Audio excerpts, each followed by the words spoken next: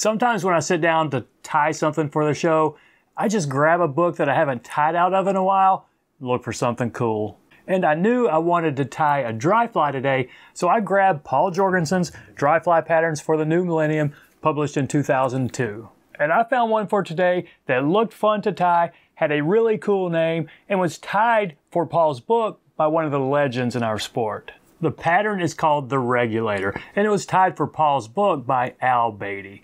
Now, an online search of this pattern turned up absolutely nothing. So I was wondering, how could that be? It's such a cool name for a fly. The pattern does look pretty similar to other flies out there, as tied in the book, and how I'm about to tie it with a red body. It does look a lot like several variations of a Royal Coachman, particularly ones tied with a hair wing trude style. And obviously, I've never fished this pattern, never even tied it until today, but I really like the looks of it. And I did make one substitution in this one. Al used a white calf body hair for the wing, and I know I had some somewhere, but I couldn't find it, so I substituted a white deer body hair, which is a pretty similar material. It might be just a little bit coarser, but I think it's going to behave the same. So there it is in the vise, a regulator from Poul Jorgensen's dry fly patterns for the new millennium. And this particular pattern was tied by the legendary Al Beatty for Poul's book. So let's pinch this barb right here. I did not get it right there. Let's try it again. Think that got it. Now this is a 3X long. It's what I use for a lot of big dry flies and hoppers and terrestrial patterns.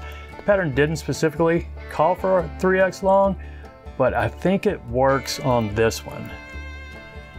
And red thread. I'm going with a a 140 denier. I am starting it up front because the body is just red thread and starting it up here will give us two layers when we take it back up front. Now there's no tail, but we do have a peacock herl for a butt. So start your thread where you really want the front of the butt to be. And I think right there is where I am, or don't start your thread, I mean leave your thread there. So let's catch this in a few wraps back and then you can just break these off. They're still pretty brittle right there. So a few extra wraps back and if I wrap that up, is that gonna be a big enough butt? I think it is. Everybody likes a big butt. So let's go ahead and wrap this up and I just broke one of them. So what do you do there? You just catch it in again and just a reminder to be careful. This peacock herl is pretty brittle, certainly when you're working from the small end. So we're fine. Still got our thread right there. Just be careful and try not to hit the point of your hook as you wrap this up. You might get five or six wraps depending on how big of a butt you want.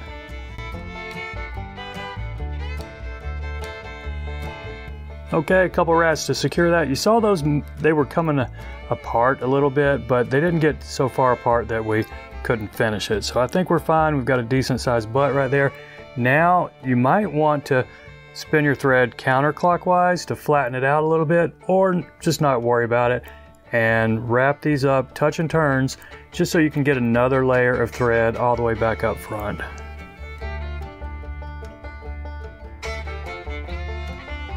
Now here's where I'm going to have to differ just a little bit from what the pattern called for. Um, Al's pattern was white calf body hair, not calf tail, calf body hair. And this looks pretty much like it, but it's not. It is white deer body hair. So it's pretty similar and it will stack pretty well. So just take a medium sized tuft, medium to small, I guess. Put it in your stacker, see if you get it stacked well. I think we did. Now just measure the length. We want it a little bit past the bend. Actually, I need to take my thread a little bit back because we do want a pretty big thorax. So let's go back a couple of millimeters right here. And is that enough? Yeah, one more. How about that? Okay, now measure it again. See where we want this. Okay, I think that's gonna be good right there. Now I'll spin my thread clockwise, cord it up a little bit so I can get a pretty tight bite right here. Now this is gonna flare up front and that's fine.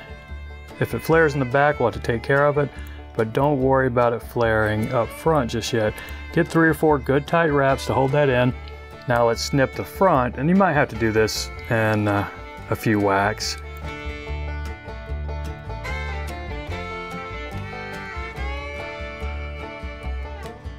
Okay, I think we've gotten most of that.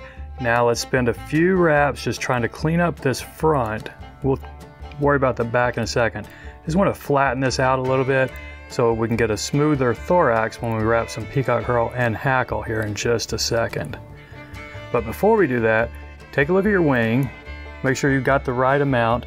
Still want to see some of that red, and right there I've got it coming off the sides, you can see that. So I'm going to reach in here and just snip some of the ones on the side so that my wing isn't, you know, too big.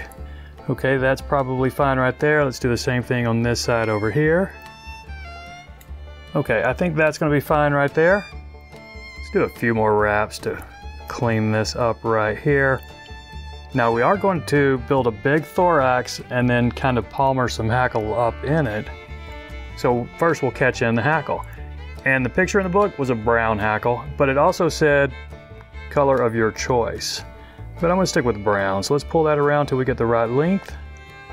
And let's just catch it in at the back of our thorax right here. And I'm leaving that stem a little bit long. It'll help smooth this area out right here. A few extra wraps going up. Snip this butt right here. Now we'll take that same peacock herl we used in the butt. Got plenty of it left. And we're gonna catch it in up here. And if you have any excess, you can snip it or maybe just loose wraps and pull it back a little bit. And I pulled it too far right there. I'm just making a mess out of this fly. But in the end, it's gonna be okay. Happens to all of us. Okay, so keep this herl, wind it to the back here, and then take your thread up front. And I'm gonna have to just snip that because it's too short for me to grab with my stubby little fingers, but we're gonna be just fine. Now let's wrap this peacock herl up. We should have enough to get a pretty thick thorax right here, and that thread under it is gonna help, you know, give us a thick thorax as well. So whatever it takes, five or six wraps to get you up front.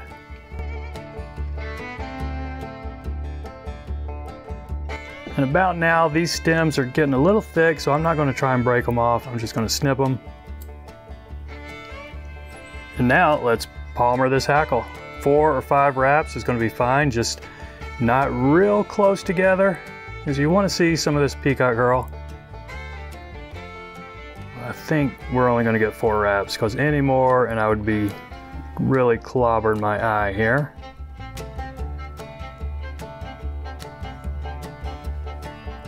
Okay, let's pull these back, make a little room for our whip finish. And it's a dry fly, so we don't want a huge head here.